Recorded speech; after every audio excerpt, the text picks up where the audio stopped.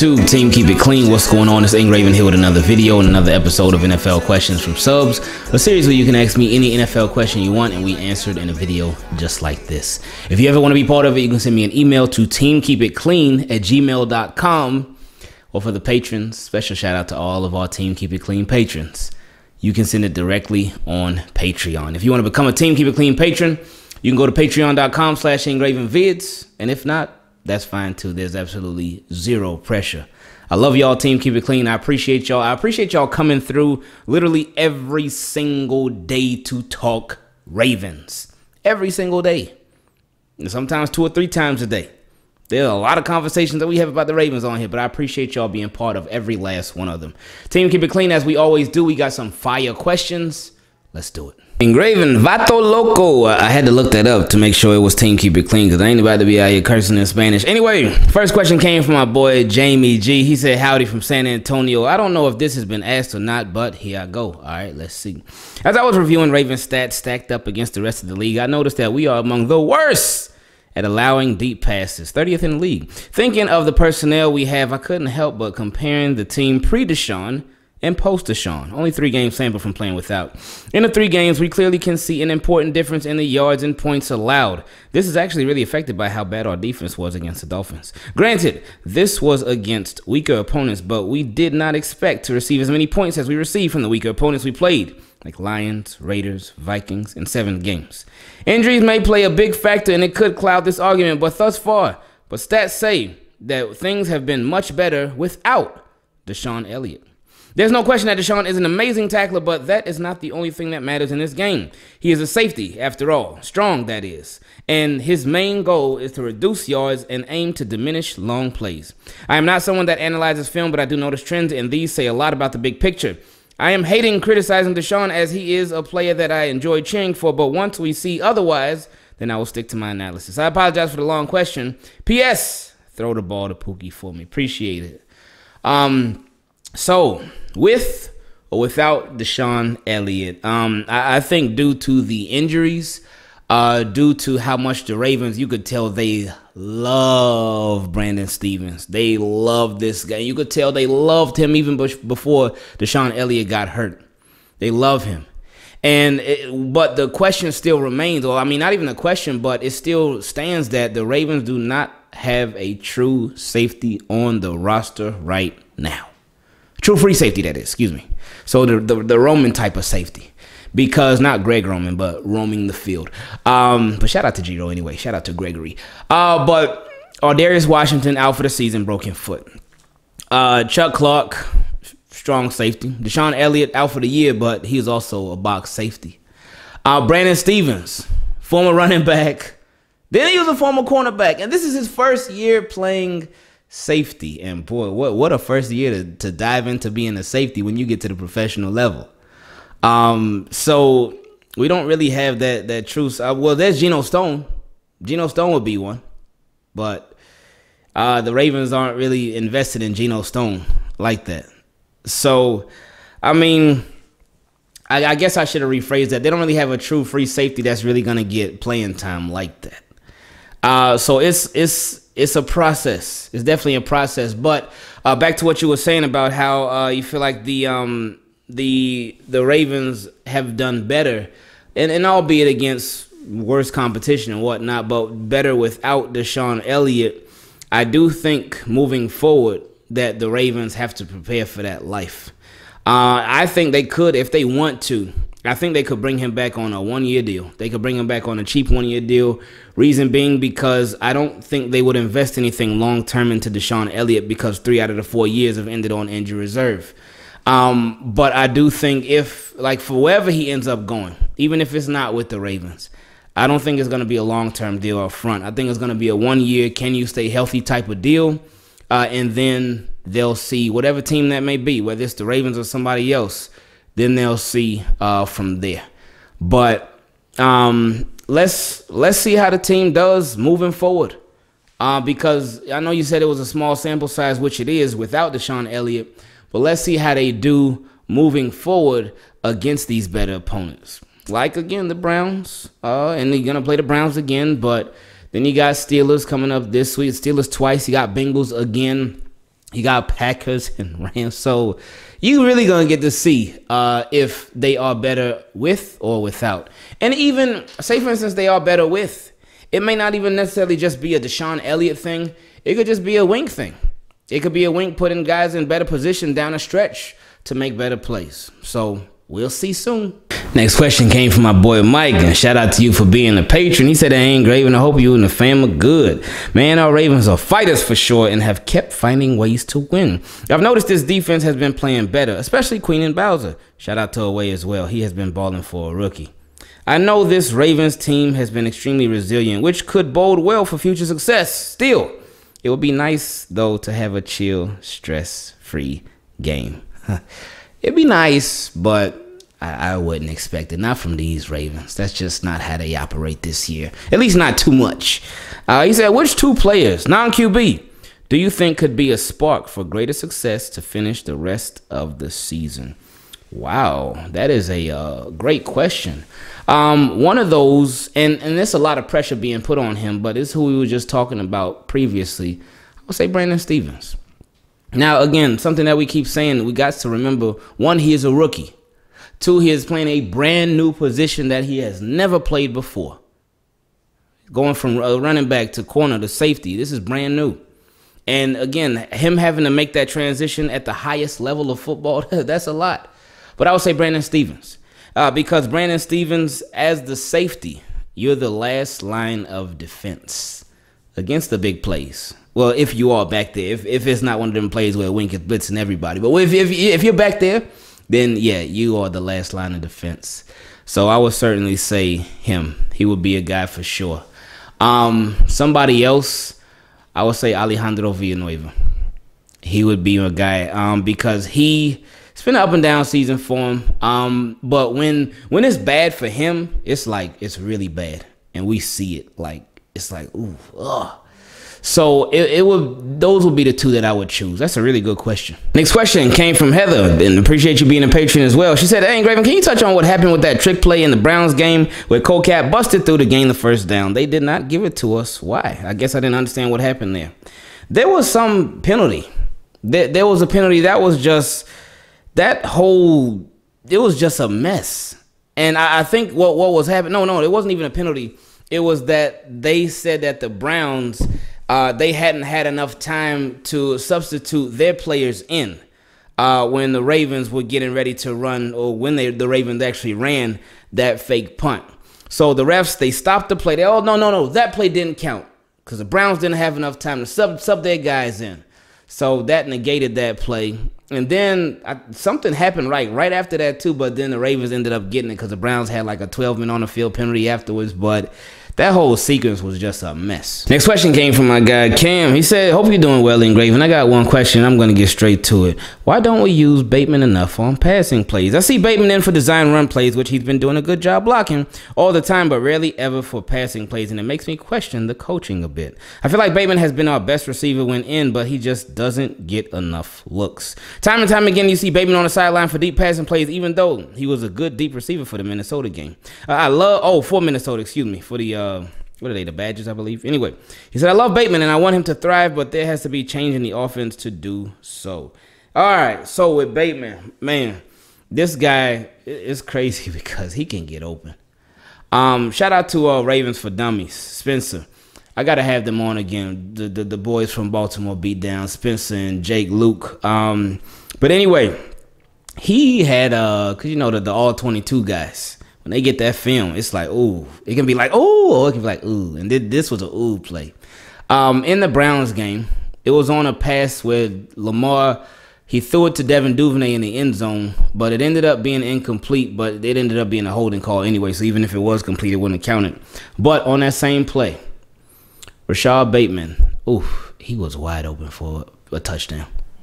And initially, when um when Spence showed the uh the play, because he put it on Twitter when he when he showed the play. I saw somebody in, in, in the end zone because the film it wasn't crystal clear. It was clear enough, but I saw somebody in the end zone. I was like, oh man, it's a safety right there.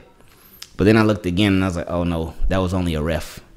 So Rashod Bateman was wide open. So that is on Lamar Jackson to get him the ball when he is in. Not force it, but just look for him. Lamar got to do a better job of, of, just seeing the field, and that, that's crazy because that's something that he really does well. But for these past couple of weeks, it's just been it's been a problem. Um, so he got to step it up on that. And again, yeah, with coaching, I I don't know what it is. That that confuses me because when Rashod Bateman first came on the scene, he's out there a lot, but then like you see him out there less and less, like especially in the uh, in the Browns game and in the set, whole second half, and then in the Dolphins game too. It's like the way that they were using him, or really the way that they weren't using him, was just super weird. Next question came from Bryce, and he sent it to the wrong email. But I'm gonna give you one pass and one pass only. Anyway, he said, Ain't Graven, quick question. Why is Brandon Stephens playing so much? He has been in 100% of snaps or close to it for a while now. I understand our secondary is thin, but he has one of the worst passer ratings allowed when targeted in the whole league. Not saying I dislike him as a player, but it seems that the coaching staff loves him when the stats aren't showing any success. Thanks. And, and you know what? I, I'll attribute him sending this to the wrong email because he's obviously been frustrated with Brandon Stephens. Um, but the reason why Brandon Stephens is playing um, so much is because Ravens' original starting free safety uh, is out. Um, and somebody that they threw a third round pick for, um, he he's up. And they said from jump they want him to be a safety. They said that and they are following through with that. So it's going to be some growing pains again since he's a rookie and new to the position. But the Ravens, like you said, and like I've said a lot too, they love him and he is going to be out there just going through it. And with that experience, he'll get better. So it's it looking like it's been rough, been a little rough here and there. He made some good plays now too, but with everything being thrown at him, because before they would have him on the field here and there and whatnot. You see the 21 come in the game. Oh, okay, they go Brandon Stephens, a rookie. But that's when DeShon Elliott was still healthy. But now, yeah, he he's it, he went from being a part time player to a full time. It's like, oh, okay, that's a lot to take on. So we just got to be patient with him uh, and let the process let the process happen. Next question also sent to the wrong email. First and last chance, fellas. It came from Brendan. I guess it's when when your name starts with a B, you send it to the wrong email. Anyway, he said, "What's going on in Graven? Hope you and your family are doing well. Do you think Lamar plays too much hero ball and subconsciously puts us in bad situations just for him to save us? Oh, that's a, a, very interesting question. Subconsciously puts us in bad situations just for him to save us. Nah, no. Um, well, not not intentionally on the uh, the bad situations part, but you did say subconsciously, so that wouldn't be intentionally. Um, yeah, it happens sometimes. It does. Well, again, with Lamar, it's it's always big play, big play, big play, big play, big play, big play, big play, and he he just got to do a better job taking uh, the the little stuff and and a little more grinding it out through the air. Like running wise, he'll he'll do them the grinding out running wise. Oh yeah, but through the air, he likes the big chunk plays, those fat plays, those huge plays where it's like, oh yeah, whoa, that was great.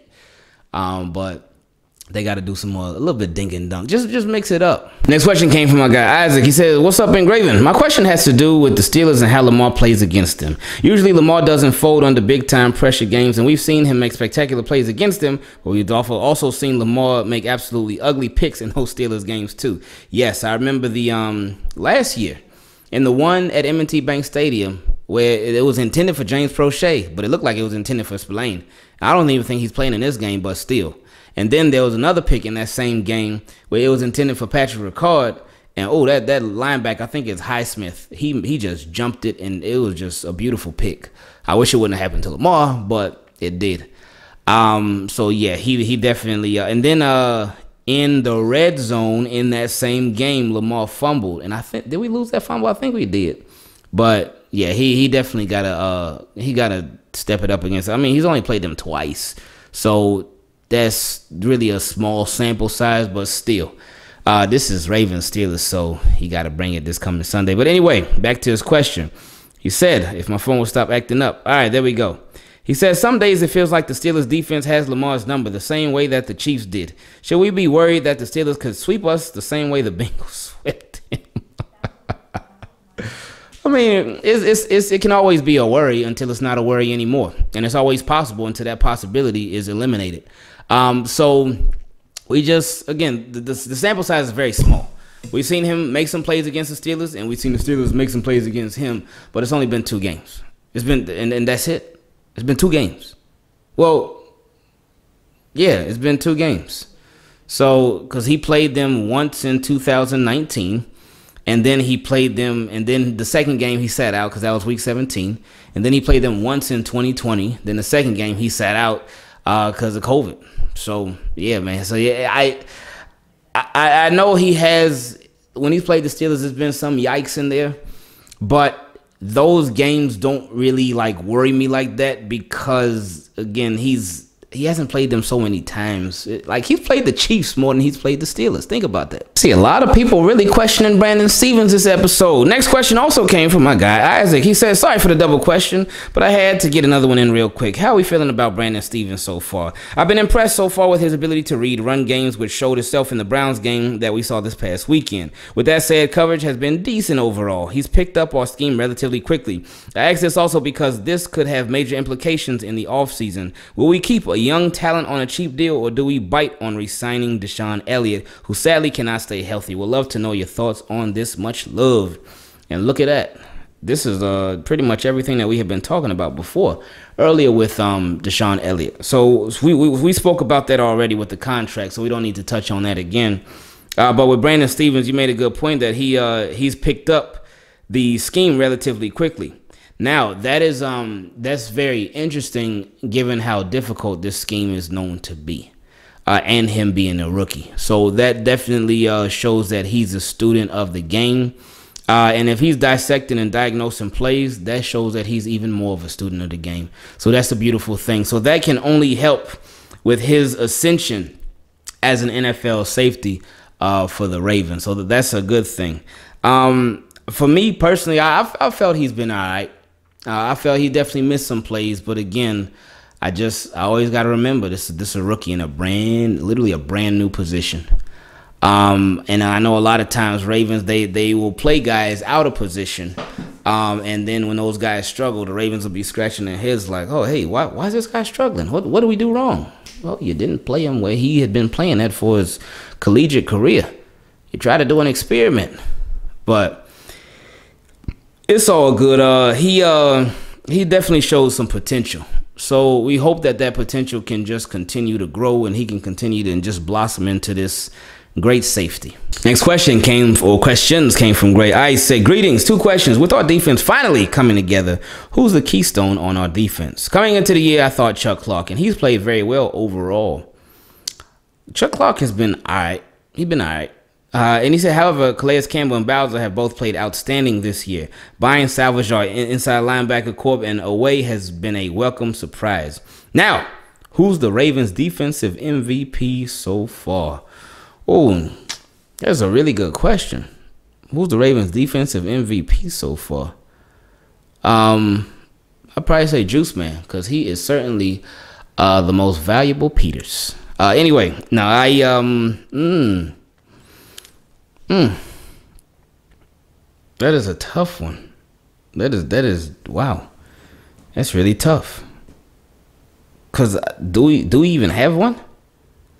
Cause yeah, Bowser been playing real good recently. Patrick Patrick Queen he done been coming along a lot better. Um, Calais Campbell has just been so consistent. So I guess Calais Campbell, Calais Campbell could be one. Um, yeah, if I, yeah, if I gotta go one, I gotta go Calais Campbell. I just feel like there just really hasn't been just one like dominant from jump to. I mean, always been really good. Um, and he's made he made some big time plays as well. Uh, but so I don't I don't know. I don't I, I don't know. That's a really really good question.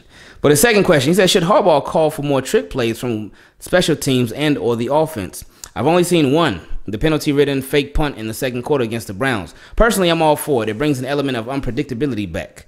He said, Have a great day. Yes, I, I, I think so. Um, not that you have to do it again. You don't have to do it all the time. It doesn't have to be something that's you do once or twice every single game, every single quarter. No.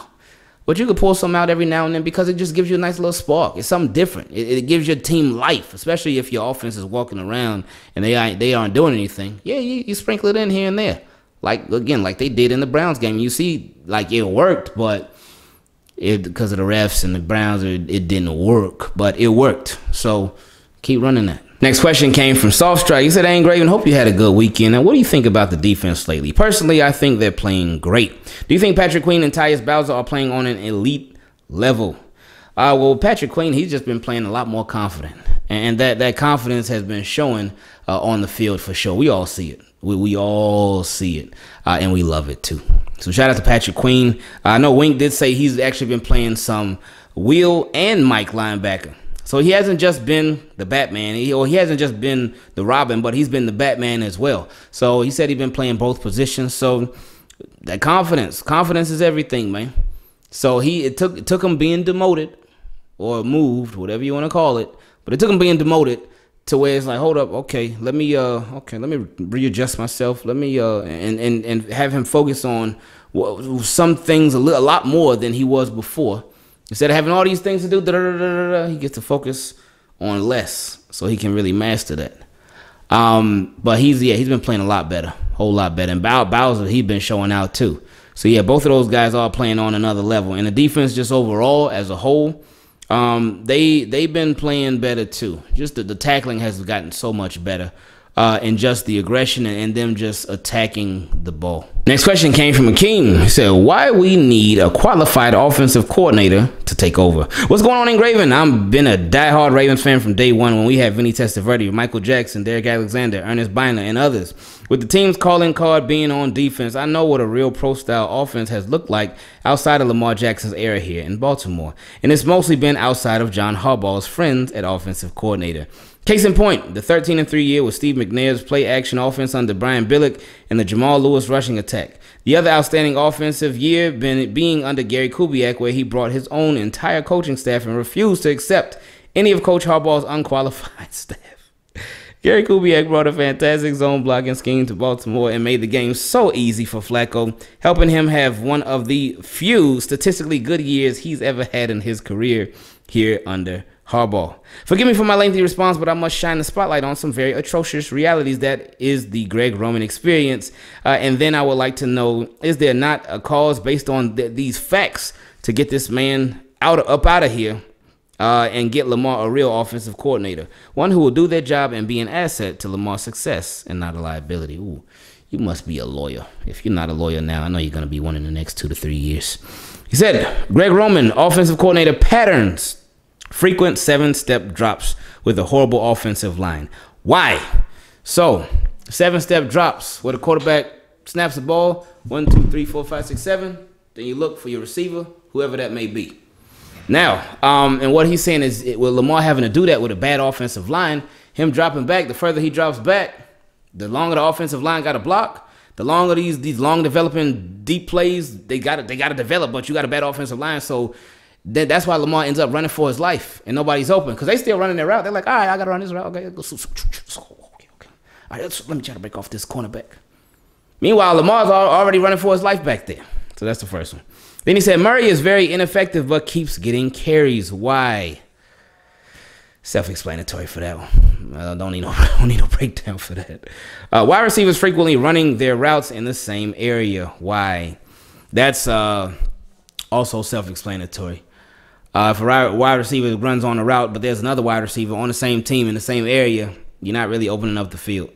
So, and he said, lied to the fan base and said Lamar would be under center more this year and the offense would be more evolved this year, only for it to look like the exact same and Lamar only be under center once a game for a red zone handoff. Literally.